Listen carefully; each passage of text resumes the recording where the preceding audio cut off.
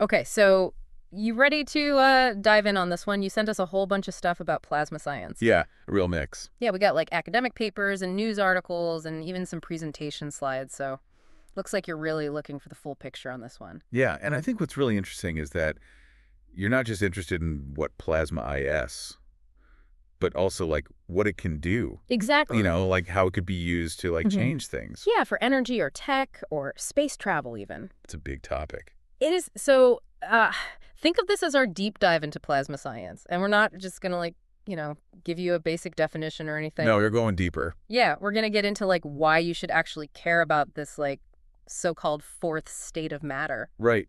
Because you know what most people don't realize is that plasma is like everywhere. Wait, really? I thought it was mostly solids, liquids and gases. Well, yeah, here on Earth, sure. Right. But like if you zoom out, you know, to the universe, like stars and nebulae and even the space between galaxies, it's pretty much all plasma. Wow. We're talking like 99.9% of the visible universe, So Earth is like the weird one. pretty much. Huh. Okay, so I get that it's a big deal out there in space. Right. But what about down here, you know, but besides like lightning?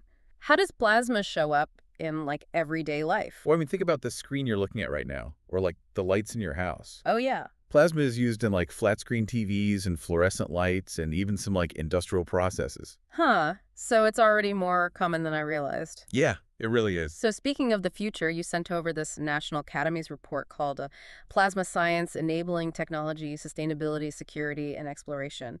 And it seems like they're making some pretty big claims. Yeah, it's uh it's a lot to get through, but the, the main thing is like how useful they think plasma science could be. Right, like they're not just talking about making things a little bit better. No, it's like they think it could completely change entire industries. For example, they talk about like creating these crazy intense plasmas with lasers, Yeah. like pushing the boundaries of high energy density physics. And there's even this picture of something called the Z machine that looks kind of like a weapon from a science fiction movie. Well, it's not quite a weapon, but yeah, it's definitely high tech. And by studying matter under those kinds of extreme conditions, Yeah. We can learn a lot about like the fundamental laws of the universe. Okay, that's cool, but let's be real. How does all this like high-powered laser stuff actually benefit normal people, you know, people who aren't physicists? Well, one big area is clean energy, Okay. specifically fusion power, which is often called like the holy grail of energy because it's based on the same process that powers the sun. Right, so it's like replicating the sun here on Earth. Exactly. And it relies entirely on our ability to control plasma. Ah, Because with fusion, you're trying to fuse atomic nuclei, which requires like crazy high temperatures and pressures. And the only way to contain that kind of reaction yeah. is with super strong magnetic fields that can shape and control the plasma. And that's what places like MIT's Plasma Science and Fusion Center and the Princeton Plasma Physics Laboratory are working on. But fusion has always seemed like it's like just out of reach. You know, like it's always just around the corner. Yeah. So, is there anything different this time? Like, is there something in this research that suggests we're actually close to a breakthrough?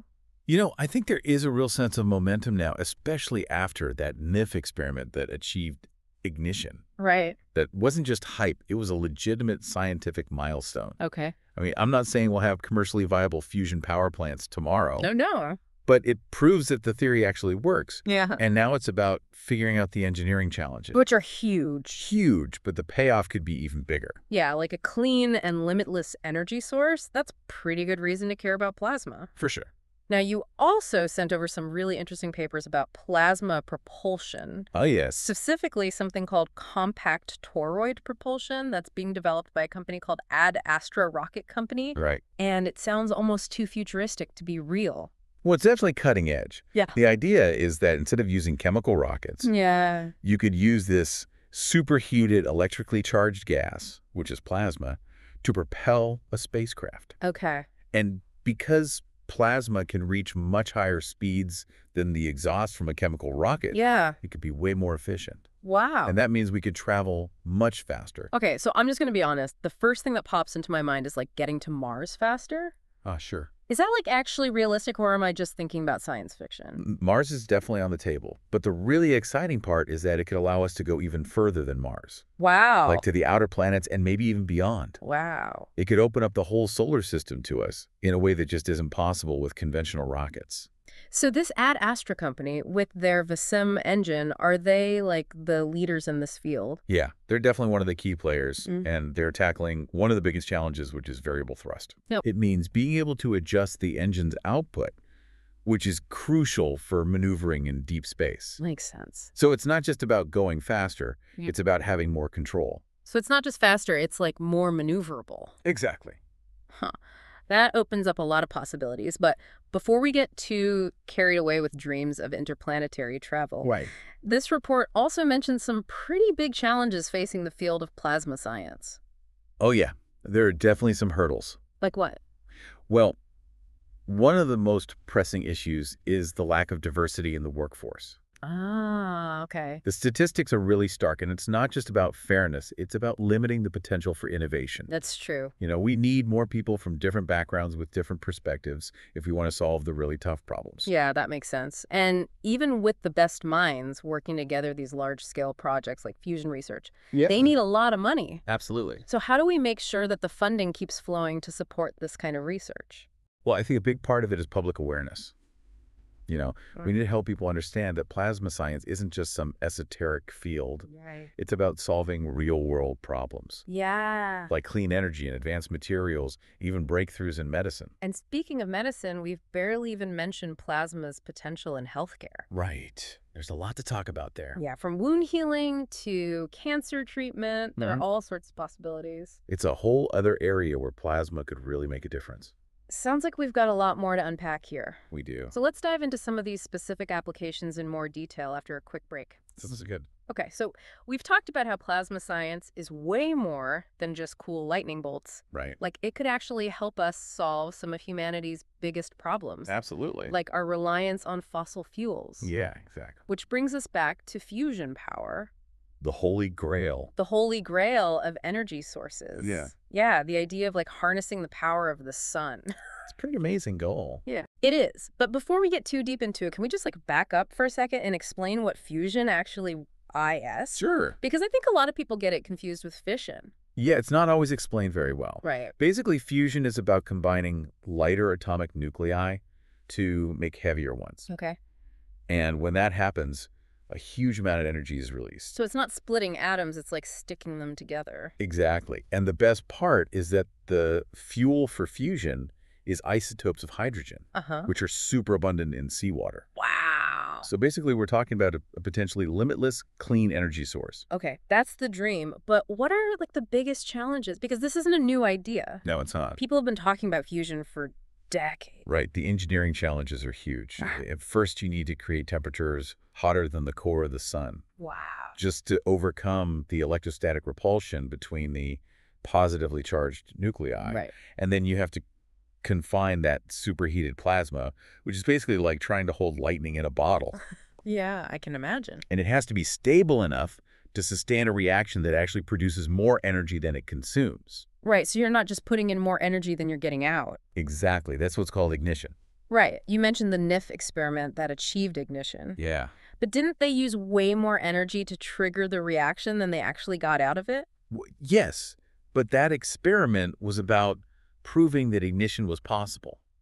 I see. For years, people said it couldn't be done, but the NIF experiment proved them wrong. Okay. So now the focus is on scaling up the technology, improving efficiency, and making the whole process commercially viable. So it's like we have the science now, we need the engineering. Exactly. So what are like the main approaches people are exploring right now? There are two main paths. One is magnetic confinement fusion, which uses powerful magnets to control the plasma. Okay. That's what they're doing at MIT and Princeton. Right. And then there's inertial confinement fusion, which uses high-powered lasers to implode a tiny pellet of fuel. That's what NIF is doing. Okay. Each approach has its own advantages and disadvantages. So it's like a race to see who can figure it out first. Kinda. But ultimately, success in one approach could help the other.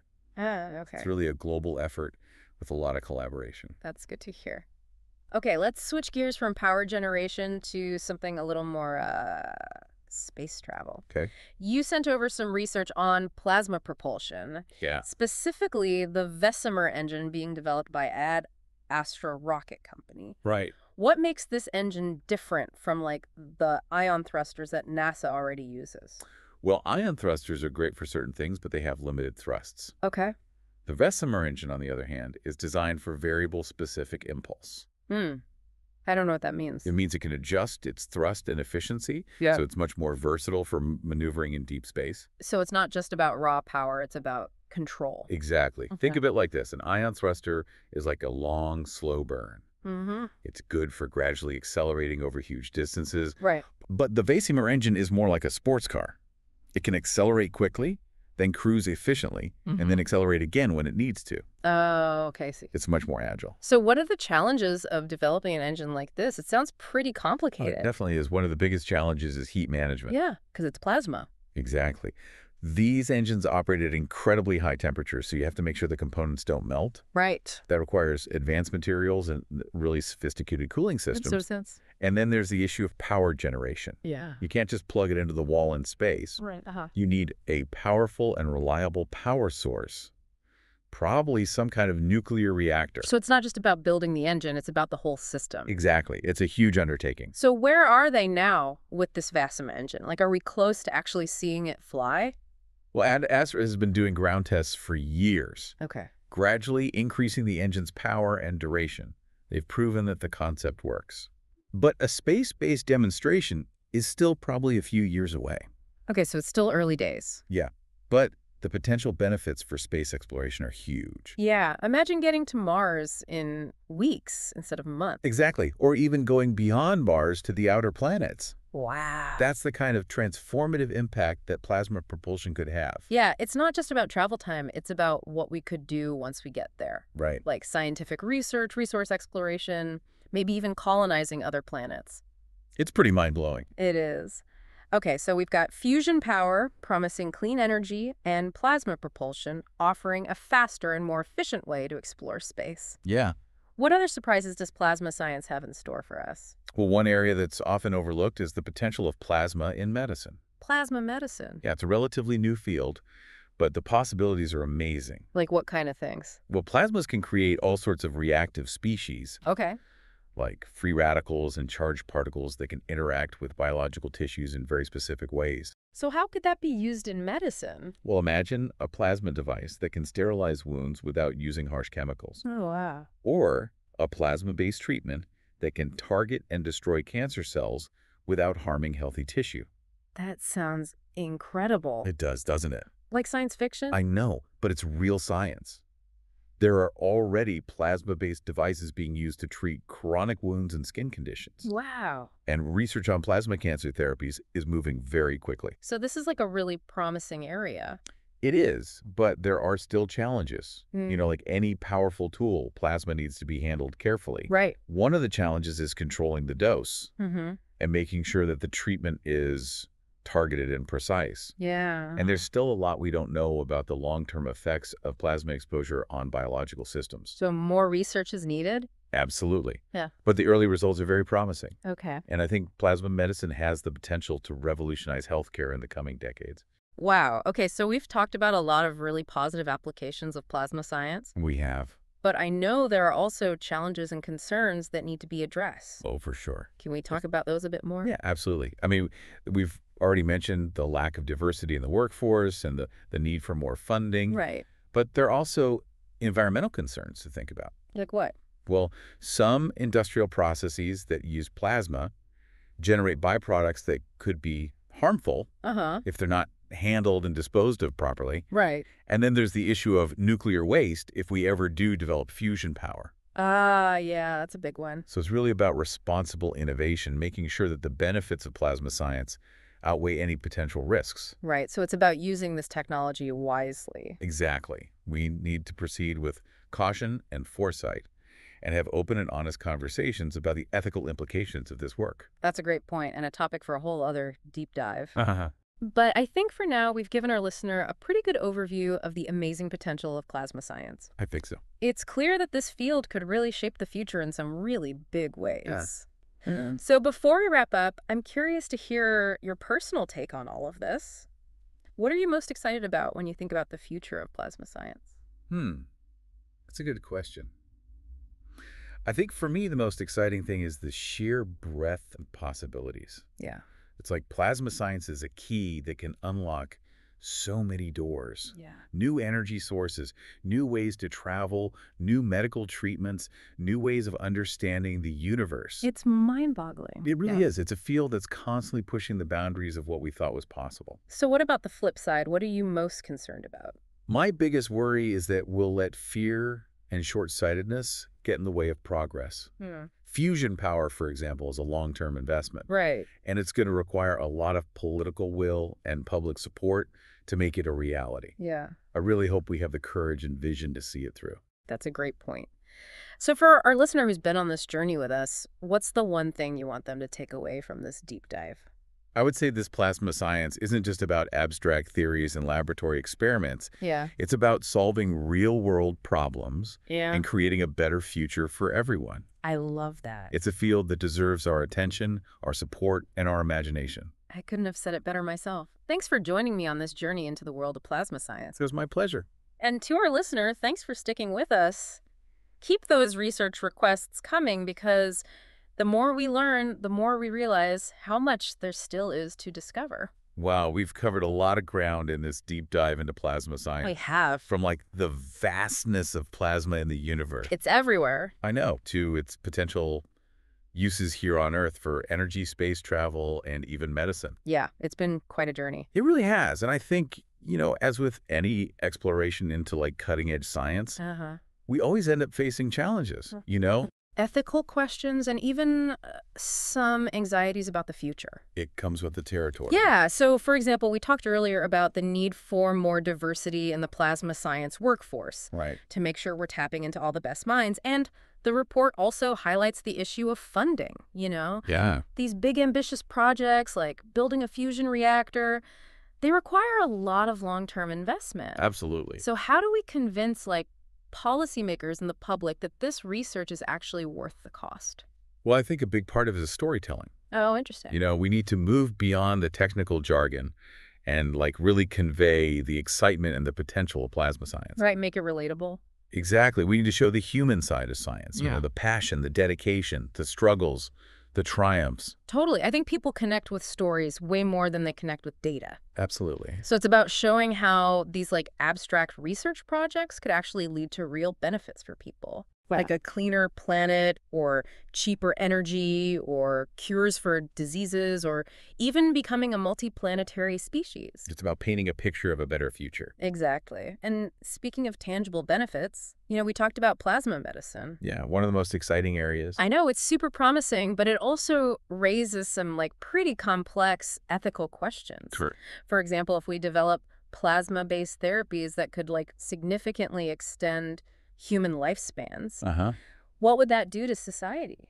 That's a big question, and there's no easy answer. Right. We need to have some really thoughtful conversations about these issues before these technologies become widely available. Yeah, it reminds me of the debates around genetic engineering and AI. Exactly. As we gain more and more control over life and intelligence, you know, Yeah, we need to be super careful about the potential consequences. Absolutely. And it's not just about the ethics of specific technologies, it's also about making sure that the benefits of plasma science are shared equitably. That's a really important point. You know, like if we develop fusion power, we need to make sure that clean energy isn't just accessible to rich countries or corporations. Right. Everyone should benefit. Exactly. It's about using these powerful tools to create a more just and sustainable world for everyone. Well said. So for our listener who's been with us on this deep dive, what's the one message you want them to take away? I would say stay curious, stay informed, and stay engaged. Elephant. Plasma science is a rapidly evolving field, and the decisions we make today will have a huge impact on the future. It's a call to action. It is. You know, a reminder that science isn't just something that happens in labs, it affects all of us. It really does. and the more we understand about science, the better equipped we are to shape the future we want. I completely agree. This has been a truly fascinating deep dive, and I'm so grateful for your expertise. It was my pleasure. And to our listener, thanks for joining us. Keep those research requests coming because the more we learn, the more we realize there's still so much more to discover.